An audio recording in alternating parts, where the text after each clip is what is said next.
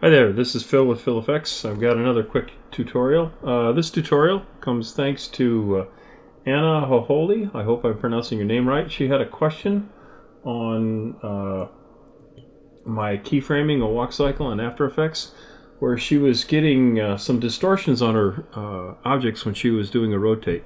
And I believe I have an answer to uh, what the issue is that she might be having. Uh, it has to do when you do a non-uniform scaling on some of your objects and you have them parented in After Effects.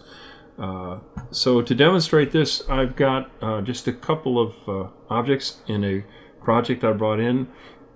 I made a, a large red circle you can see here and a, a, smaller blue one.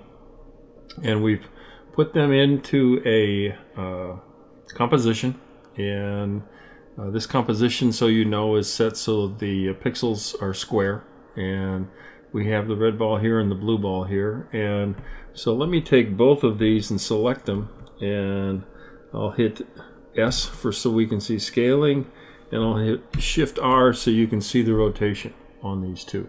And at the moment uh, there's no parenting going on and they're both scaled uh, at 100% uh, on the red one I turned off the uh, locking of the scale so I can scale it differently in X uh, versus Y. So let me do that and let me take this and we're going to scale this to 50%. Oh, that's not what I want to do. Let's deselect the blue one, just select the red one and scale that 50% in Y. So we have that smashed a little bit in Y and we have the blue one scaled at 100% and 100%. Now let me take the small blue ball and I'm going to parent this. We'll take the pick whip up here and I'm going to parent that to the red one.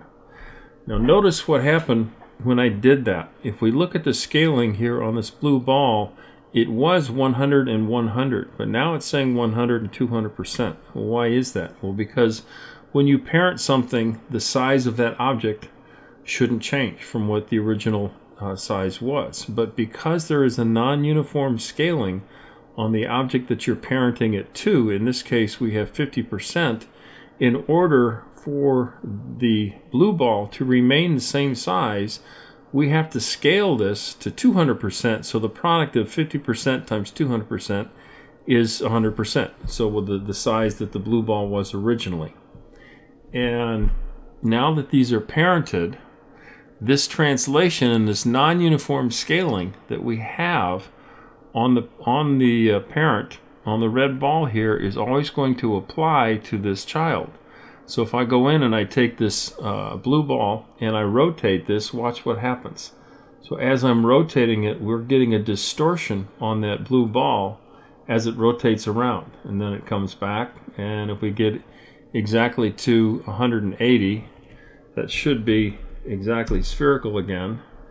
And then as I start to rotate it around some more it's going to get distorted. It's getting distorted because we have this distortion this non-uniform scaling that we have on the top level object. Now why this is probably happening with your characters is because you created a top level uh, null with nothing in between or you grabbed the top level object. Uh, maybe it was the torso and you brought it in and you decided it wasn't the right size for your project. So you went and scaled it, but you not only scaled it, you scaled it non-uniform. In other words, you scaled it different in X versus the scaling that you have in Y. And because the scaling is different, this non-uniform scaling that you have on the top level object is going to ripple down and it will apply to every single object that you have in this case, if you had a full character, that non-uniform scaling is going to apply to the arms and legs, shins, feet, everything that makes up that character. And it's going to be a problem. You're going to get a dis distortion every time that you try to do a rotation on one of your lower level, lower level objects. So how do you fix this? Well, there's a couple ways you can do it. One way to do it is you scale your object so it's the correct size outside of After Effects and so you have the the correct aspect ratio in height and width to what you want and maybe you do that in Photoshop or maybe it's a vector file and you do that in Illustrator but you correct your uh, scaling for your object outside of After Effects That's one way to do it. Another way to do it is if you if that's not acceptable or you can't do that, there's another quick way to do this is we go in here and we uh, uh, let me take and unparent this. And we go in to our layer new and we add a null object. So by adding this null object pardon me by adding a null object this sits between the blue ball and the red ball. And the one thing I do want to find out is you, need to make sure that the position of the null is at the same position uh, of the uh, top level object. In this case, the position of the null is at 320 and 320, and the position of the red ball is 320 and 320. So I have these two positioned in the same place. This is important because any scaling that's applied to the null needs to be uh, scaled at the exact same position of the, uh, the uh, parent above it. So we go in and now I can go in here and take this null and we'll parent the null to the red ball. And then if I take this and we say scaling, S so we sit scaling and do shift R so we even have rotation so we can see that and let me pull this up so we can see everything on here. And now then I take the blue ball and I'm going to parent that to the null.